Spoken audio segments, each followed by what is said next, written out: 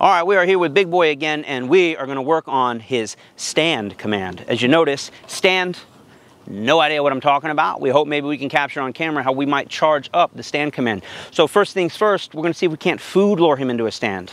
He gets a little stressed out coming to the edge of the table, so I want to let him know when he does come to the edge of the table and offers me that beautiful stand that we are going to pay big money for that. So once we have a beautiful food lure established, which it's on its way there, we can start to establish hand commands for, for the down and or the sit.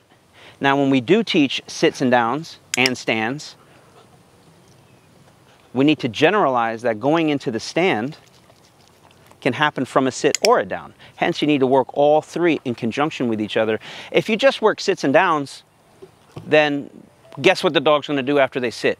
They're gonna down right? Because they're going to get into the rhythm. What we do is we break that rhythm and offer up a third command, the stand. And that allows us to work